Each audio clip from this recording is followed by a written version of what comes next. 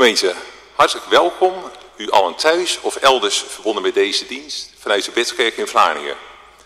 We zijn hier bijeen voor een eredienst die geleid zal worden door proponent Treur uit Vinkerveen. Hartelijk welkom, dominee, fijn dat u hier bent. Als introslied willen we met elkaar gaan zingen, gezang 473, de versen 1, 2 en 10. Gezang 473, de versen 1, 2 en 10.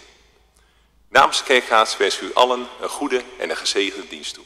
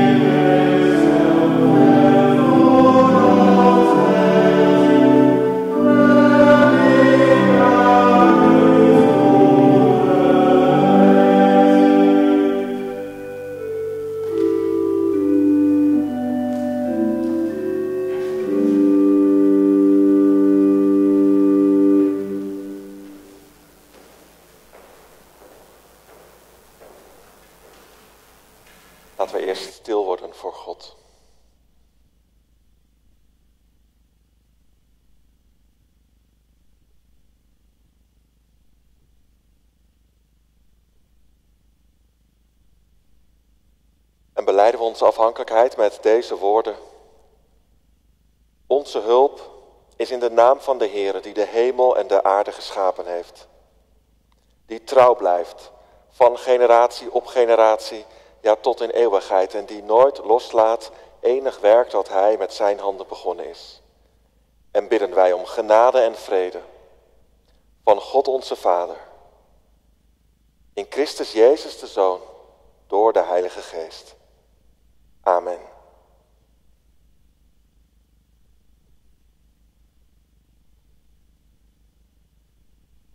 We willen in deze dienst gaan nadenken over de vraag wie is mijn naaste? En dat gaan we doen aan de hand van de welbekende gelijkenis van de barmhartige Samaritaan.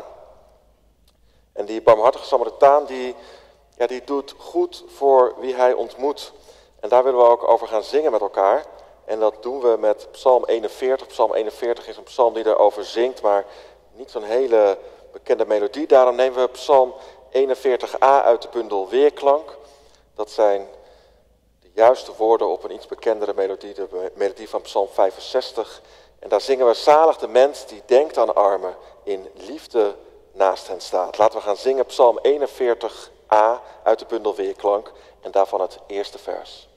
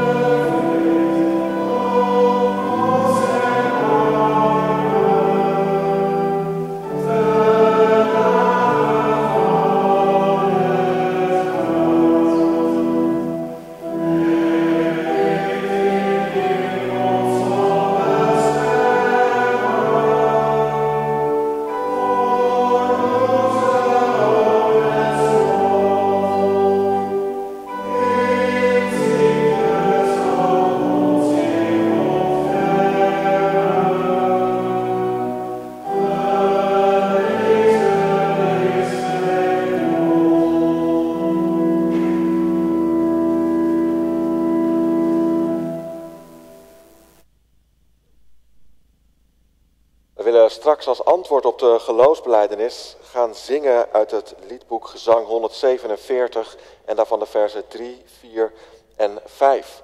Dan gaan we een lofzang zingen op Christus die de hemel voor ons verliet. En waarom deed hij dat? Nou, u kent het andere gezang ook, die om ons te redden de hemel verliet. En Paulus die heeft daar ook een lofzang over opgenomen in zijn brief aan de Filippenzen. En dat loflied op Christus uit Filippenzen 2 vormt vanavond onze geloofsbeleidenis.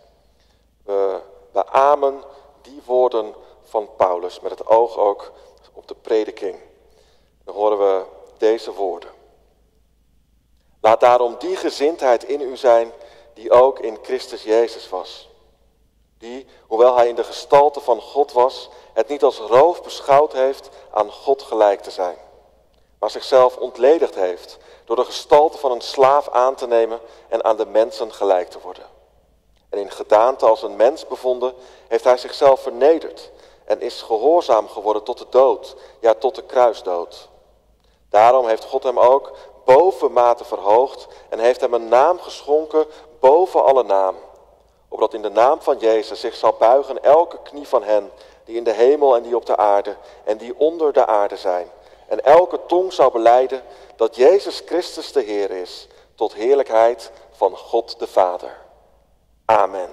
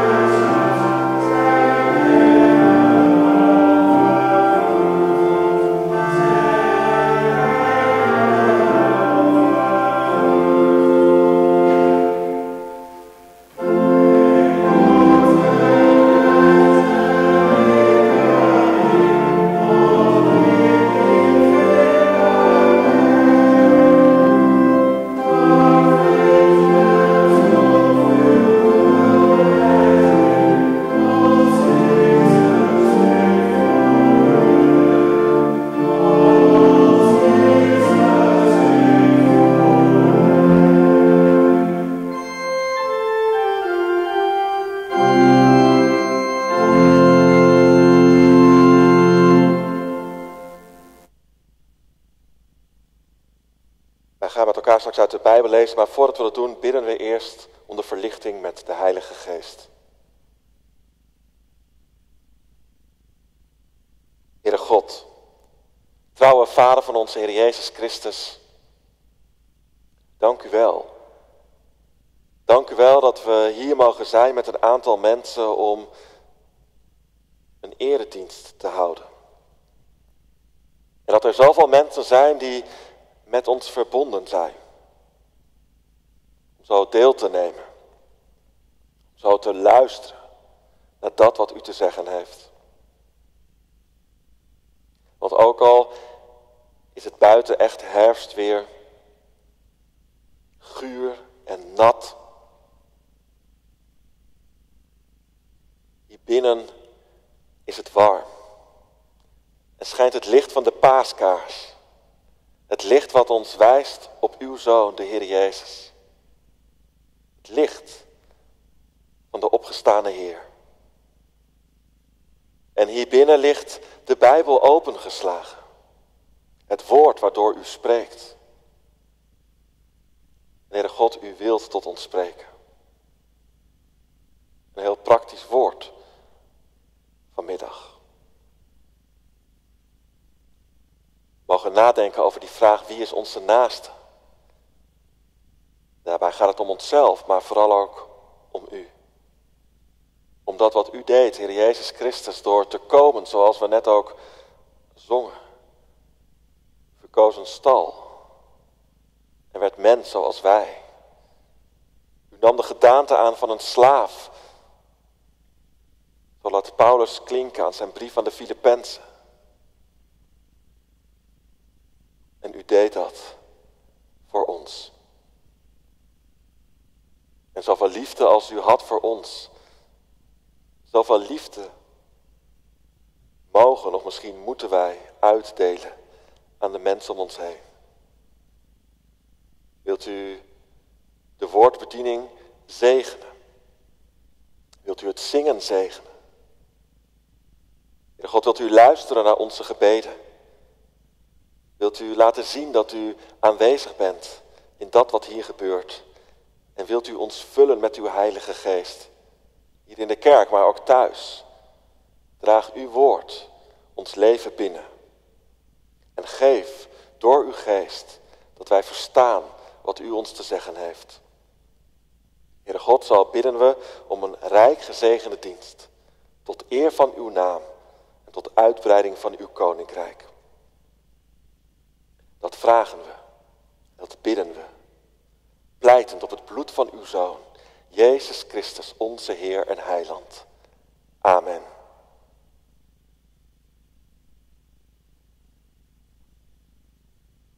We gaan de Bijbel open doen en dat doen we in het Evangelie naar de beschrijving van Lucas. We gaan lezen uit het tiende hoofdstuk, Lucas 10, vers 25 tot en met 37. Lucas 10, vers 25 tot en met 37 en daar staat boven, zoals ik ook al zei de barmhartige Samaritaan.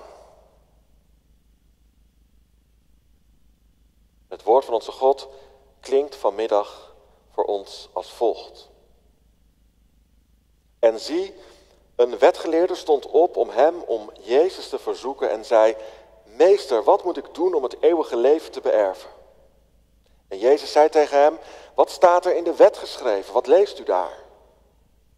De wetgeleerde antwoordde en zei, u zult de Heere uw God liefhebben met heel uw hart, met heel uw ziel, met heel uw kracht en met heel uw verstand. En uw naaste als uzelf. En Jezus zei tegen hem, u heeft juist geantwoord. Doe dat en u zult leven. Maar de wetgeleerde wilde zichzelf rechtvaardigen en zei tegen Jezus, wie is mijn naaste? Jezus antwoordde en zei, een man ging van Jeruzalem naar Jericho en viel in de handen van rovers, die hem de kleren uittrokken, hem daarbij slagen toedienden en hem bij hun vertrek half dood lieten liggen. Toevallig kwam er een priester langs diezelfde weg. En toen hij hem zag, ging hij aan de overkant voorbij. Evenzo ging ook een leviet toen hij op die plek kwam en hem zag aan de overkant voorbij. Maar een Samaritaan die op reis was, kwam in zijn buurt en toen hij hem zag, was hij met innerlijke ontferming bewogen. En hij ging naar hem toe, verbond zijn wonden en goot er olie en wijn op. Hij tilde hem op zijn eigen rijdier, bracht hem naar een herberg en verzorgde hem. En toen hij de volgende dag wegging, haalde hij twee penningen tevoorschijn. En hij gaf ze aan de waard en zei tegen hem, zorg voor hem. En wat u verder aan kosten maakt, ik zal het u geven als ik terugkom. Wie van deze drie denkt u dat de naaste geweest is van hem die in handen van de rovers gevallen was? De wetgeleerde zei, degene die hem barmhartigheid bewezen heeft. Jezus zei tegen hem, ga heen en doet u evenzo. Tot zover de lezing en het woord van onze God. Zalig met u en zalig ben jij als je het woord van God hoort en het bewaart in je hart. Halleluja. Amen. We gaan nadenken over dit gedeelte. Heel bekend gedeelte, maar we hopen toch nieuwe dingen te horen. En de vraag die centraal staat is, wie is mijn naaste? preek is eigenlijk onderdeel van het focustraject wat de IZB aanbiedt aan allerlei gemeentes die daar behoefte aan hebben. En we zijn al best een end op weg met deze preek in dit traject. Dat traject helpt gemeentes om gericht te zijn op de vraag, ja, waarvoor komen we eigenlijk samen? Waarvoor zijn we gemeente? Hoe kunnen we gericht zijn op de Heer Jezus? Nou, na een heel deel het over het geloof in Jezus te hebben, wordt het geloof ook handen en voeten gegeven. De preek hiervoor ging over hoe je nu christen bent in, je, in het dagelijks leven, op je werk, bij de mensen die je tegenkomt op straat. De preek die nu dan gehouden wordt gaat over de vraag, maar wie is dan eigenlijk je naaste? Welke kansen reikt God ons aan? Nou, voor u is het zomaar een losse preek, maar ik denk dat het even zo goed heel zinvol is om over deze vraag na te denken. Ik had daar nog wat vragen voor aangelegd, maar ik zie dat die niet op de zondagsbrief terecht zijn gekomen. Maar het is altijd goed om met uw eigen vragen na te denken over de preek. We gaan zingen ter voorbereiding op de preek uit Psalm 38 uit de oude berijming. En we zingen daarvan het 21ste en het 22ste vers. En eigenlijk kun je zeggen dat gaat een beetje over die man die daar half dood langs de weg ligt en niet meer weet van wie die hulp moet verwachten. Zie mij, Heer, wie in elk moet duchten tot u vluchten. O mijn God, verlaat mij niet. En wat er verder volgt in vers 21 en 22 van Psalm 38 uit de oude berijming.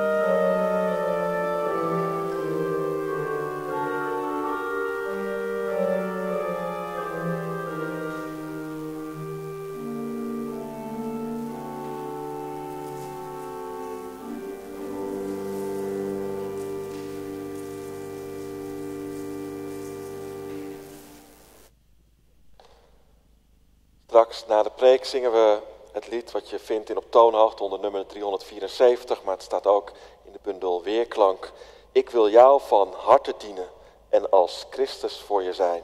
We zingen het hele lied, dus dat zijn alle vijf de coupletten.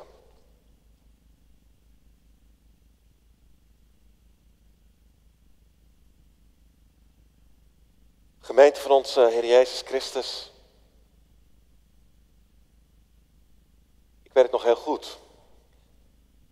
Ik was in die tijd nog begeleider op een locatie voor dagbesteding voor mensen met een verstandelijke beperking. En er kwam op die dag een nieuwe stagiaire. Die was aan mijn begeleiding toevertrouwd. Een heel aardig meisje. Ze deed een of andere sociale opleiding. En voor die opleiding moest ze tenminste één stage lopen binnen de gehandicaptenzorg. Nou, dat was dan bij ons. Ruim voordat de cliënten, zo noemen we ze daar, voordat die kwamen, was ze er al. En ze hoort het natuurlijk ook. Op je eerste dag moet je ervoor zorgen dat je op tijd bent. En na wat over en weer gekletst te hebben met elkaar, en alvast wat dingen te hebben uitgelegd, besloten we om de dag te beginnen met koffie drinken in de kantine. En dan zouden we direct tussen de mensen zitten. En er was er ook volop gelegenheid om op een laagdrempelige manier kennis te maken met de cliënten die dan binnen zouden komen. En met name natuurlijk de cliënten van de groep waar zij ook kwam stage lopen. Ja, daar zaten we. We hadden de koffie voor ons. Er zaten al wat nieuwsgierige cliënten om ons heen. En op de achtergrond kwamen er ook allerlei taxibusjes aan om nog meer cliënten te brengen. En terwijl we daar zaten, kwam ergens uit het niets Leo aanzetten. Ik noem zijn naam maar, want ik heb hem toch niet. Leo. Dat was en dat is een wat oudere, verstandelijk beperkte man. Hij loopt een beetje scheef. Je ziet een paar vreemde trekken in zijn gezicht. Een beetje wat verwilderde blik, maar die verwilderde blik die komt wel uit hele mooie, liefdevolle, blauwe ogen. En als Leo praat, dan hoor je, of misschien moet ik wel zeggen, dan voel je, alle spetters die om je oren vliegen, dat je te maken hebt met iemand met een beperking. Ja, Leo, die komt dus de ruimte binnenlopen en hij ziet direct dat er wat anders is. Er is een nieuwe. En van een afstandje neemt hij de situatie in zich op. En wat er in hem omgegaan is, ik weet het niet, maar ik zag het wel gebeuren. Resoluut neemt hij een besluit en stapt hij op de niets vermoedende stagiaire af. Hij slaat een arm om haar heen. Nou ja, een arm om haar heen. Hij neemt haar meer in een soort van liefdevol bedoelde houtgreep. En voordat ze kon reageren, geeft hij een kletsnatte klapzoen op haar wang. Terwijl hij haar daarbij aankijkt, zegt hij met spetterende woorden: Je bent lief. Maar dan valt zijn oog op de wijnvlek in het gezicht van de stagiaire. Hij gaat wat naar achter. Met de arm die hij nog vrij heeft, wijst hij naar de wijnvlek. En hij zegt, wat is dat? Het lukt het meisje op dat moment niet om ook maar één woord uit te brengen. Ik zie ogen vol van angst bij haar. Ik zie hoe ze worstelt om los te komen uit de houtgreep van Leo. Dus ik help haar maar en ik zeg dat Leo haar beter maar los kan laten. Leo is gelukkig de beroerdste niet. Hij laat haar los, maar hij kijkt nog één keer naar haar wang. Terwijl hij wegloopt, zegt hij: Het geeft niet hoor. En weg is hij. Ja, hoe de dag verder verlopen is, ik weet het eigenlijk niet meer. Maar de volgende dag was de stagiaire ziek. En drie weken later was dat nog steeds zo. Na een maand, we hadden tussendoor al wat contact gehad, kwam ze op een tijdstip dat er geen cliënten waren vertellen dat ze het niet aankon. Ze was geschrokken. De mensen waren anders. Ze kwamen heel dichtbij. En direct de eerste dag was ze al geconfronteerd met haarzelf. Dat trok ze niet. Haar eerste stagedag, dat bleek dus ook gelijk haar laatste stagedag te zijn. Ja, waarom ik dit verhaal vertel? Ja, dat is vanwege de woorden van stagiaire die mij zijn bijgebleven. Ze zei in het gesprek wat we hadden, ze zijn zo anders. Ze benadrukt het. Zo verschillend. Niet dat ze het letterlijk daarna zei, maar het kwam erop neer, zo ben ik niet. Ergens tussen de regels door hoorde je, deze mensen zijn vreemd, maar ik ben normaal. Ik weet niet of het je wel eens opgevallen is, of u er wel eens over nagedacht heeft. Maar heb je wel eens doorgekregen hoe, hoe dat in ons zit? Hoe dit gevoel diep ingebakken zit in ons denken. Dat gevoel van ik ben normaal en de ander, ja, de ander is altijd anders. Dan krijg je dit soort dingen. Dan, dan krijg je dit soort gedachten als ik ben normaal, maar een verstandelijk gehandicapte, iemand met een verstandelijke beperking, ja, die tuft in je gezicht, die ziet er soms eng uit. En als je niet oppast, dan grijpt hij je. Of ik ben normaal, maar die mensen die altijd klagen over hun ziekte, ja, die zijn gewoon verschrikkelijk, daar komt geen einde aan. Ik ben normaal, ik, ik werk tenminste. Maar al die mensen met een uitkering, laat ze gewoon eens een baan gaan zoeken. Er zijn zoveel vacatures, als je wilt, dan kun je werken. Of ik ben normaal, maar die zwervers, niemand hoeft in dit land met, met dit sociale stelsel toch op straat te leven. En dat heb je dan toch gewoon aan jezelf te danken. Nog een stapje verder misschien, ik ben normaal. Maar dan die Marokkanen, die passen zich niet aan. Ze zijn negen van de tien keer crimineel. Heel ons land zit er vol mee. En dat is ook al zo met al die vluchtelingen. Er zullen er best een paar tussen zitten die echt ergens voor op de vlucht zijn, maar volgens mij zijn de meeste gewoon gelukzoekers. En ja, hoor je dan zeggen, ik ben normaal, ik werk hard, ik zorg goed voor mezelf en voor mijn gezin. Laat al die ouderen dan ook eens een keer ophouden met, met die claim die ze voortdurend leggen op onze maatschappij. Ik heb geen tijd om ook nog eens een keer voor hun te zorgen. Laat me genieten van mijn spaarzame vrije tijd. Zat er zomaar een hele herkenbare gedachte tussen. De vraag die op je afkomt is wel deze. Hè? Heb je er nou wel eens over nagedacht hoe dat bij jou zit? Dat denken over de ander. Misschien moet je eens afvragen, hoeveel goede dingen zeg je nu over anderen en hoeveel slechte, hoeveel negatieve dingen benoem je? Laatst mijn zoon van 16, we zaten aan tafel en ik weet niet eens over wie we het hadden. Maar uit het niets zei hij, zitten we nu alleen maar negatief te praten over anderen? Die opmerking, ik had het niet van hem verwacht, maar zette mij in ieder geval wel aan het denken. Ook bij ons aan tafel. Zo gemakkelijk glij je weg in negatief geklets. Je komt erachter dat je zo druk kunt zijn met jezelf en veel minder druk bent met de mensen om je heen. En diep van binnen, diep van binnen verzinnen we excuses om ook een afstand in stand te kunnen houden tussen onszelf en onze naasten. We zijn zo vol van onszelf. Misschien zijn we zo leeg. Met het oog op de ander. In onze lezing vanmiddag komen we ook zo iemand tegen. Die helemaal vol is van zichzelf. Iemand die op zoek is naar excuses om het leven te kunnen blijven leven wat hij voor zichzelf geconstrueerd heeft. Een wetgeleerde. En hij vraagt aan Jezus, meester, wat moet ik doen om het eeuwige leven te beërven? Kijk, daar begint het al. Wat moet ik doen? Het gaat om Hem. Wat moet ik doen zodat ik zalig kan worden, zodat ik het eeuwige leven beërf? Vertelt u het maar. Het is een wetgeleerde, dus dat zegt hij heeft verstand van de Joodse wetten.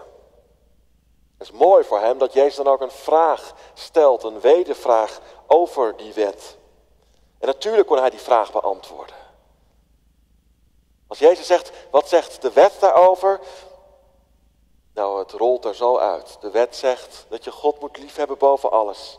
En je naaste als jezelf. Dan zegt Jezus, nou dat is toch niet zo moeilijk? Doe dat dan ook en je zult leven.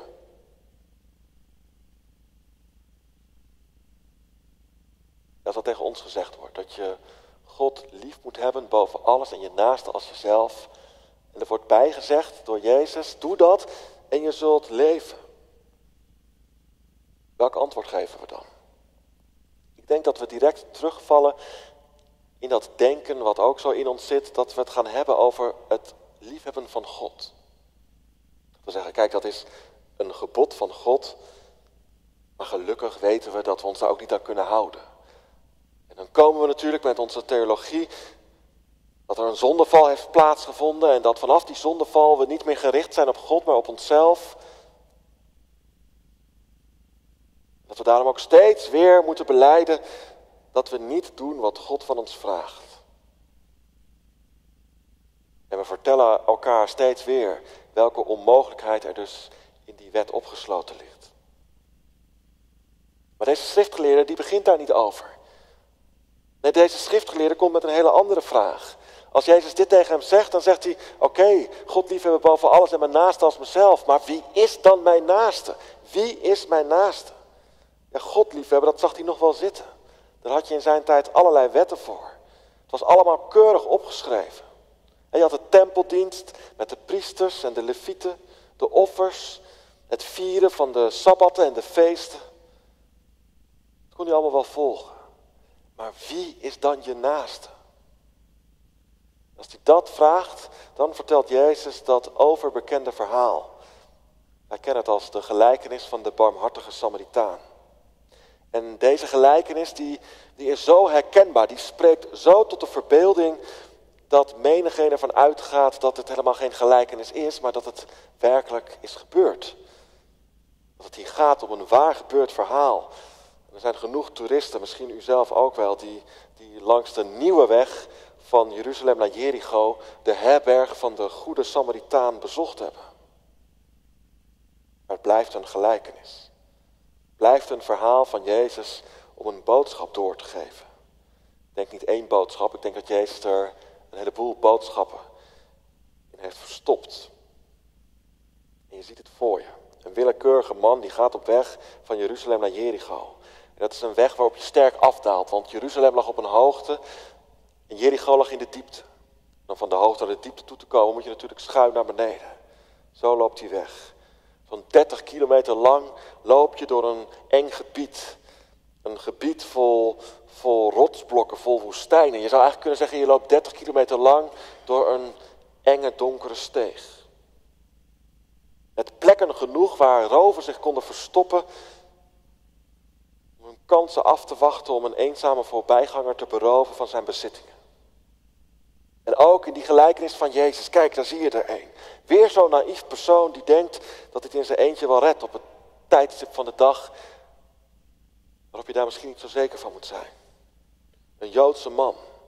En hij wordt zonder pardon neergeslagen, overvallen en half dood achtergelaten. Hij ligt daar alleen, zonder hulp. Maar dan, gelukkig, een priester. Nou kijk, dat is nog een missionaire kans. Hè? Er ligt daar iemand op sterven, hij ligt daar half dood. En dan komt daar een Joodse dominee langs. Een Joodse man, ja, die zit natuurlijk te wachten op een Joodse voorganger. Iemand van zijn eigen soort. Iemand van zijn eigen kerk. En misschien is die priester niet zo goed in EHBO, is het niet zo'n goede verpleger, maar pastoraal mag je toch een heleboel van hem verwachten. Misschien kan er nog een, een goed gesprek gevoerd worden daar in de laatste uren van zijn leven. Kan er gebeden worden of teksten opgelezen, gereciteerd worden. Maar nee. Zover het maar kan, gaat deze priester deze man uit de weg. Maar gelukkig, even later komt er nog iemand aan. Een leviet. De levieten, de tempeldienaren. Ze konden van alles geweest zijn. Mensen uit de kerkraad, de koster, misschien wel een organist of ze bespeelden een of ander, ander muziekinstrument. Het waren in ieder geval altijd praktisch ingestelde mannen, die levieten. Ja, want ze zetten zich op allerlei manieren in om ervoor te zorgen dat de tempeldienst door kon gaan. Want daar heb je wat aan. Ja, want dat is toch iemand die de handen uit de mouwen gaat steken. Iemand die er zeker is voor zijn eigen mensen.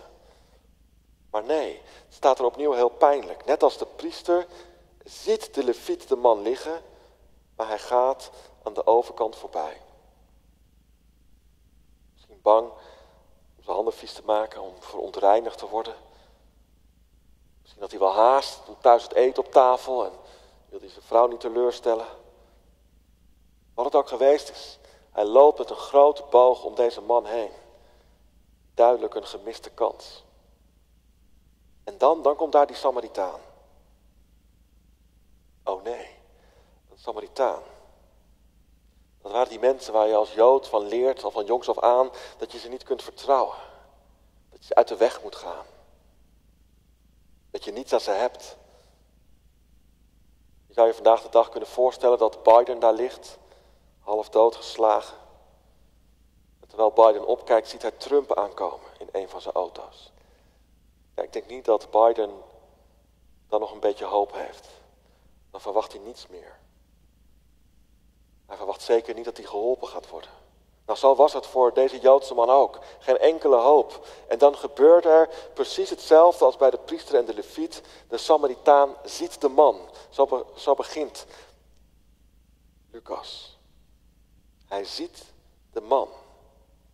En voor alle drie die mensen, die priester, die leviet en de Samaritaan, wordt hetzelfde woord voor zien gebruikt. Dat is niet even vluchtig er naar kijken en dan snel weer doorlopen. Nee, het woord voorzien wat hier gebruikt wordt, dat duidt erop dat zowel de priester als de leviet, maar ook deze Samaritaan, ze, ze kijken, ze beginnen met kijken en ze blijven ook kijken. Ze kijken heel aandachtig. Je kunt je voorstellen, hè, die priester en die leviet, die kijken en terwijl ze kijken, lopen ze voorbij. Ze, ze raken die man niet kwijt.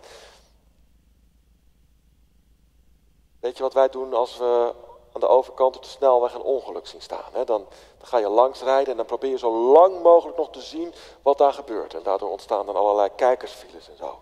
Nou, deze Samaritaan die doet op dezelfde manier. Hij kijkt en, en hij verliest die man niet uit zijn blikveld. Nee, hij blijft kijken. Maar niet om, om dan snel door te lopen. Nee, kijken bij die Samaritaan, dat roept geen afkeer op. Het roept niet de drang op om zo ver mogelijk bij die man vandaan te blijven. Nee, het roept bij deze Samaritaan ontferming op. Het doet wat met hem van binnen. Hij wordt geraakt. Hij kan niet wegkijken. Hij kan niet voorbij lopen. Hij moet wat doen. En in plaats van aan de overkant voorbij te gaan, komt hij dichterbij.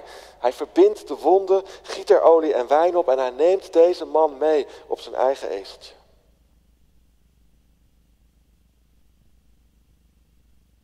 Ja, als we zo ingaan op dat kijken.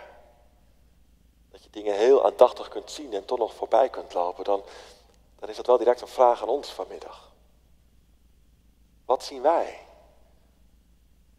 Waar wordt onze blik naartoe getrokken? Wat zorgt misschien wel voor afleidingen in je leven? Omdat je dingen ziet die je helemaal niet wil zien. Wat doe je bijvoorbeeld met die mensen in nood die je voorbij ziet komen in reclamespotjes tussen je favoriete programma's? Wat doe je met de nood van een gemeentelid waarvan je weet dat het niet goed gaat in deze spannende tijden? Wat doe je met dat verhaal wat je zomaar opvangt in de wandelgangen over die collega met wie het echt niet goed gaat? Wat doe je met die ellende in je familie? Elke keer wordt er over gesproken, maar nooit wordt er met elkaar wat aan gedaan. Wat doe je met de nood waar God jou mee in aanraking brengt? Laat je het aan je voorbij gaan? Word je van binnen geraakt? Dan moet je erop af. Dit verhaal, dit verhaal van de barmhartige Samaritaan, dat gebruikt Jezus om ons een spiegel voor te houden. Je ziet het. Je blijft kijken. En je kunt twee dingen doen. kunt je afkeren, omdat het vervreemding bij je oproept. Of je wordt geraakt met innerlijke ontferming en je gaat daar recht op af. Ik moet weer even denken aan die stagiaire en aan Leo. Natuurlijk heb ik met haar gepraat, voordat ze echt niet meer kwam. Helaas heeft, heeft dat gesprek haar keuze toen niet veranderd. Maar er waren heel duidelijk twee redenen waarom ze het niet meer zag zitten na die eerste dag. Allereerst, ik heb het al gezegd, vond ze Leo vreemd. Ze vond hem eng. Dat onverwachte gedrag, daar had ze niet op gerekend. Maar het tweede wat ze heel duidelijk benoemde, Leo had haar direct in het eerste uur van haar stage geconfronteerd met haar eigen beperking. Die wijnvlek op haar wang. Die opvallende rode vlek waar ze al jaren mee gepest was, waar ze mee worstelde waar ze onzeker door was geworden. En juist op, op, op die plek waar ze dacht dat die wijnvlek er niet toe zou doen, er werd er direct een opmerking over gemaakt. is voor ons een heel leerzaam voorbeeld. Want vervreemding, dat zit heel diep bij ons ingebakken. Ik zei het al, de anderen die zijn vreemd. Maar wij hebben die anderen daardoor ook soms nodig om onszelf beter te voelen. Als je maar kunt zeggen dat iemand anders slechter is dan dat jij bent, dommer is, lelijker is, ja, noem maar op, dan ga je jezelf beter voelen. Net als met deze stagiaire. Ze had, ze had zo gehoopt dat ze tussen de mensen met een verstandelijke beperking de meerdere kon zijn. Ze had gehoopt dat haar eigen beperking haar wijnvlek niet zou opvallen. Of beter gezegd, dat die in het niet zou vallen. Tussen alles wat, wat ze binnen dat dagcentrum tegen zou gaan komen. Maar binnen een uur blijkt dat helemaal niet het geval te zijn. Haar beperking was net zo zichtbaar. Misschien nog wel duidelijker zichtbaar. Ergens was ze een gelijke. En dat maakte haar zo bang dat ze niet meer terug durfde te komen. Ik hoop dat u het kunt volgen wat ik bedoel te zeggen. Want daar zit nu onze angst. We zijn bang dat het ons niet lukt om boven de ander uit te steken. En daardoor gaan we maar door om de ander klein te maken en onszelf groot te maken. Want die discussie over je naaste, die begint niet in Lucas 10. Die begint niet in het gesprek met die schriftgeleerde. Nee, al helemaal aan het begin van de Bijbel horen we toch al die vraag. Ben ik dan mijn broeders hoeder? Moet ik op die ander passen? Moet ik zorg dragen voor mijn naaste? Het komt door die vervreemding. We weten niet meer wie God is. We weten niet meer wie onze naaste is. Je ziet het gebeuren in het paradijs. Zodra van de vrucht is gegeten, worden Adam en Eva bang voor God. Ze verstoppen zich tussen de bosjes. Vervreemding richting God. Maar ze worden opeens ook bang voor elkaar. Ze hebben door dat ze naakt zijn. En ze verstoppen zich met vijgenbladeren ook voor elkaar. Daar begint die ellende. En het gaat maar door. En al heel snel, als, als God de wetten aan zijn volk geeft, dan moet, moet hij het volk er ook op wijzen. In Leviticus 19 geeft hij een wet mee. En dan zegt hij, de vreemdeling die bij u verblijft, die moet voor u zijn als een ingezetene onder u. U moet hem lief hebben als uzelf. Want u bent zelf vreemdelingen geweest in het land Egypte. Ik ben de Heere uw God. Even kort op de bocht, wat zegt God hier? God zegt hier, volk van mij, zeg nooit dat er iemand vreemd is. Want je bent zelf net zo goed vreemd. Het is jullie oorsprong om vreemdeling te zijn. Volk van Israël, denk nu niet dat je beter bent dan de ander. Je bent precies zo. Even heel concreet met deze gelijkenis. De tweede laag die in deze gelijkenis verstopt zit, is toch wel deze. Kijk maar hoe Jezus het ons vertelt.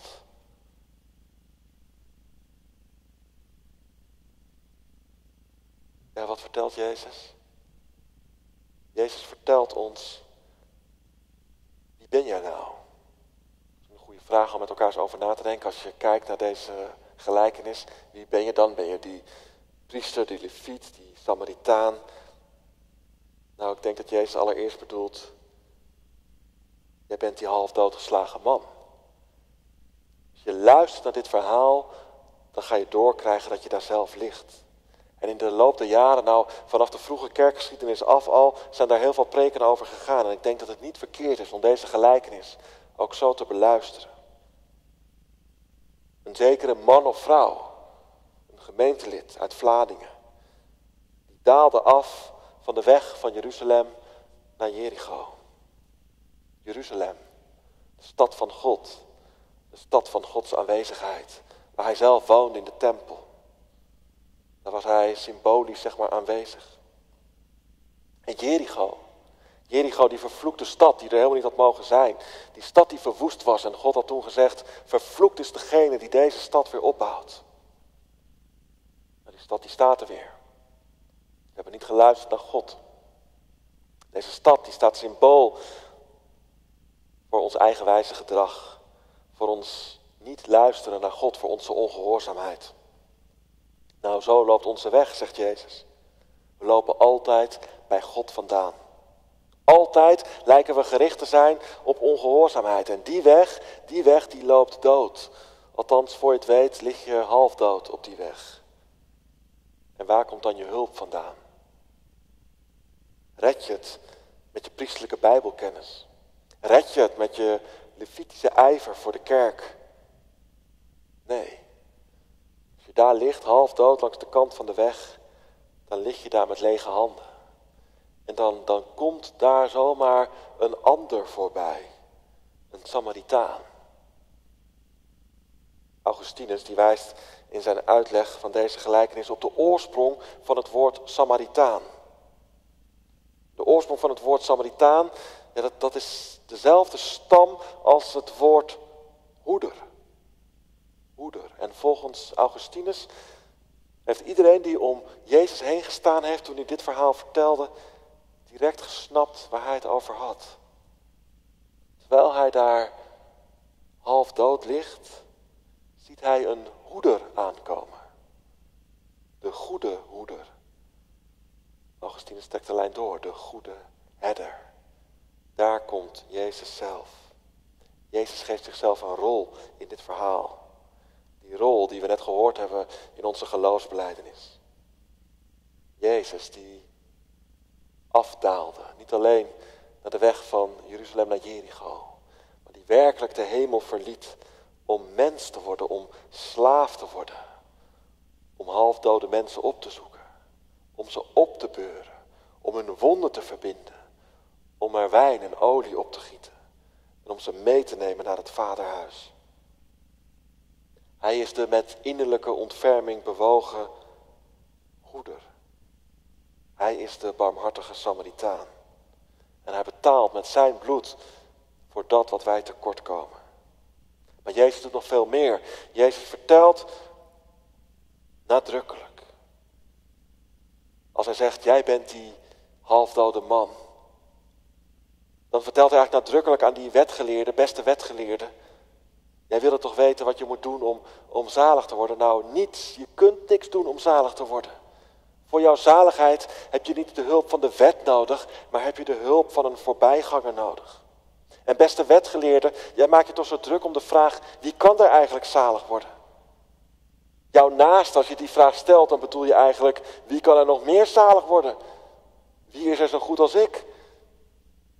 Nou, iedereen kan zalig worden. Iedereen die zich herkent in die halfdode man daar langs de kant van de weg. Wij allemaal, u, jij en ik. We zijn aangewezen op Gods genade. We zijn allemaal mensen waarvoor hij de hemel verliet. We zijn allemaal mensen die hij thuis wil brengen. En de vraag die hij ons stelt, ook vanmiddag, is: geloof je dat nu? Wil je dat geloven, dat je iemand bent, dat je uit jezelf eigenlijk niets kunt, maar dat je hulp nodig hebt van iemand waarvan je het niet verwacht, van Jezus zelf? Dat Hij jouw naaste wil zijn, dat Hij je op wil beuren, dat hij zegt, alles is voor jou volbracht. Want als je dat gelooft, dan klinkt er een hele duidelijke opdracht. Ga heen. En doe dan even zo. Of zoals we lezen bij Paulus, laat dan ook die gezindheid in u zijn die in Christus Jezus was. Kijk, die wetgeleerde vraagt heel egoïstisch, wie is mijn naast? Maar Jezus draait die vraag om. Jezus vraagt, voor wie ben jij een naaste? Want als hij zegt, ga heen en doe even zo, dan vraagt hij van u, van jou en van mij, om iets van die genade die je geproefd hebt, iets van die liefde die je ontvangen hebt, om die ook weer door te geven. Om net zo te kijken naar de mensen om je heen zoals Jezus dat doet. En dan ga je niet kijken zo van, wie is er minder als mij? Nee, dan ga je zien, iedereen is een gelijke. De vluchteling, de ouderen de zwerver, de Marokkaan, de straatkrantverkoper, die lastige zwager, die moeilijke zus, die mensen die je op je werken uit de weg gaat. Ze worden je gelijken. Ze worden je naasten. Ze worden mensen die niet kunnen leven zonder de liefde van Christus. Omdat jij weet dat jij dat ook niet kunt. En dan, dan mag jij die liefde doorgeven. Dan mag jij de handen, de voeten, de ogen, de mond van Christus zijn. Ga heen en doe nu hetzelfde. Laat die gezindheid in u zijn die ook in Christus Jezus was. Misschien moet je net als Martha aan het eind van dit hoofdstuk ook even je bezem neerleggen. Tijd maken voor de ander. Dat is de opdracht die we krijgen. Dat is wat God aan ons vraagt vanmiddag. Dat je je laat dienen, laat helpen door de heiland. Maar dat je opstaat en dat je het van harte zingt. Ik wil jou van harte dienen. Ik wil als Christus voor je zijn. Bid dat ik genade vind. En dat jij het ook voor mij mag zijn. Amen.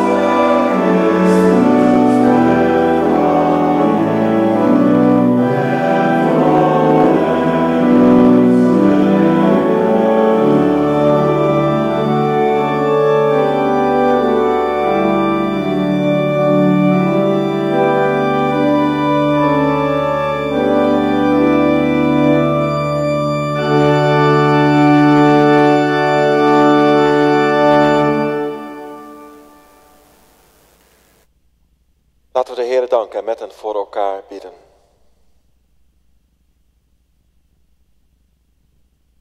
Zo mochten we het zingen, Heere God. Ik wil jou van harte dienen. En we bidden, mag het ook van harte zijn.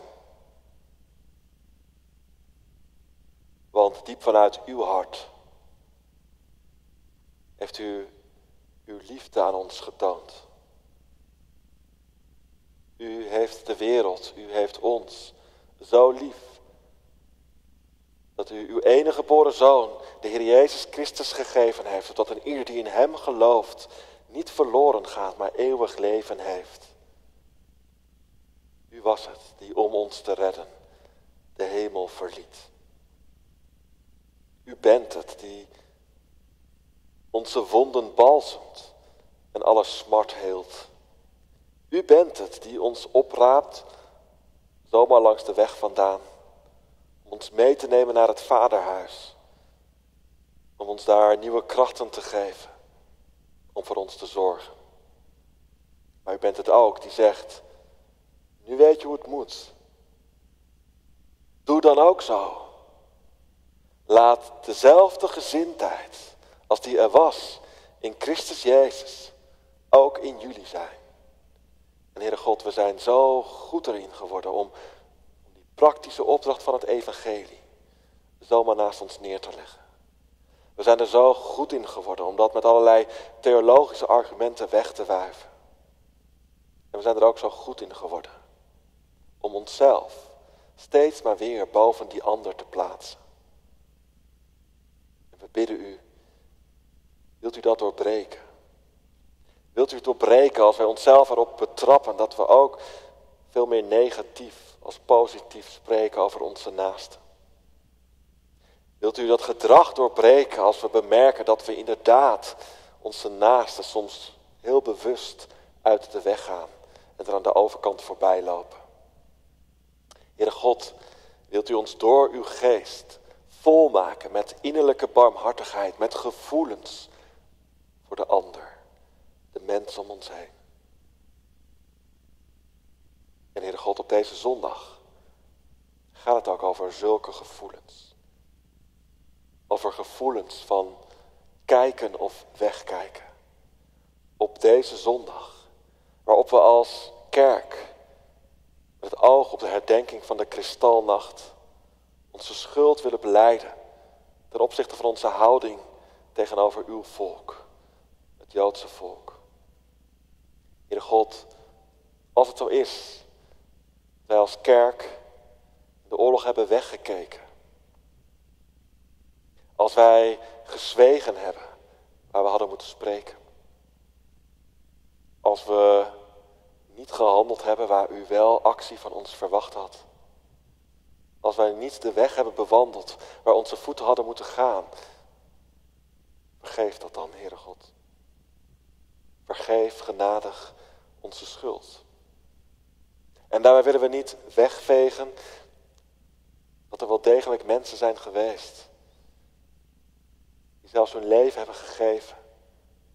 De strijd om recht het opvangen van mensen die vlucht waren. Van onderduikers. Ook in de kerk. Het voelt altijd als tekort. En dat tekort beleiden wij voor u. Maar dat brengt ons ook weer dicht bij onszelf.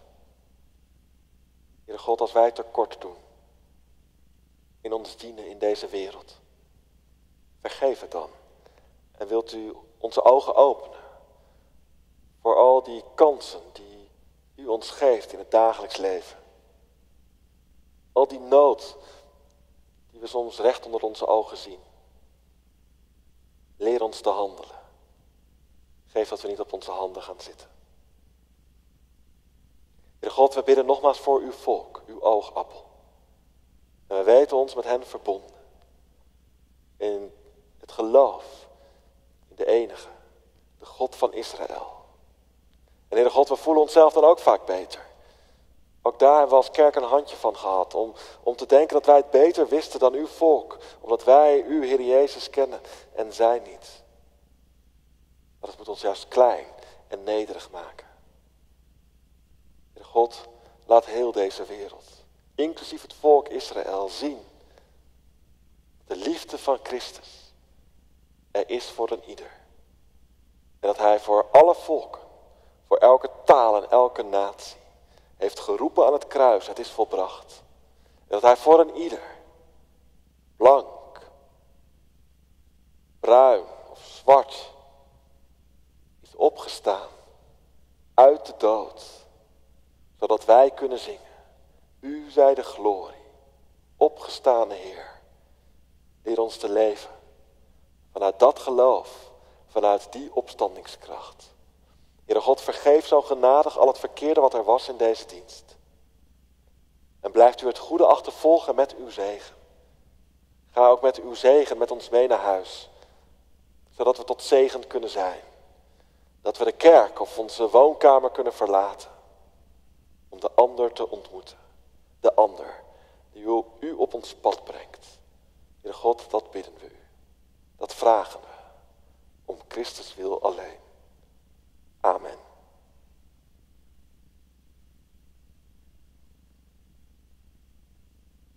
Wij zingen tot slot uit Psalm 138, de oude berijming daarvan het laatste vers. Als ik omringd door tegenspoed bezwijken moet, schenkt gij mij leven. En dat is weer een psalm waarin je die man langs de weg ziet liggen. En van wie moest hij nou hulp verwachten?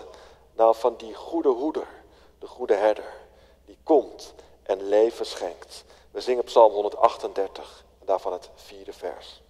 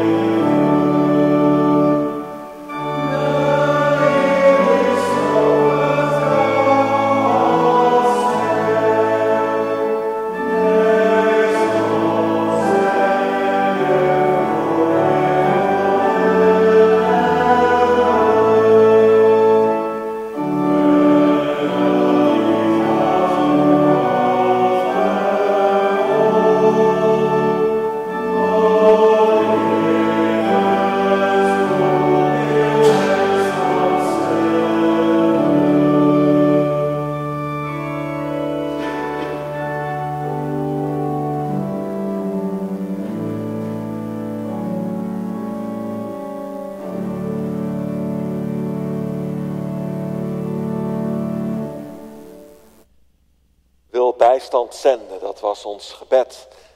En dat gebed wil God ook verhoren, want Hij zendt ons bijstand. Hij zendt ons de hulp van zijn geest.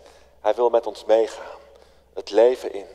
En dat doet Hij door zijn zegen aan ons te verbinden, zodat wij zelf ook tot zegen kunnen zijn. De genade van onze Heer Jezus Christus en de liefde van God onze Vader en de kracht en troostvolle nabijheid van de Heilige Geest, zij en blijven met ons allen. Amen.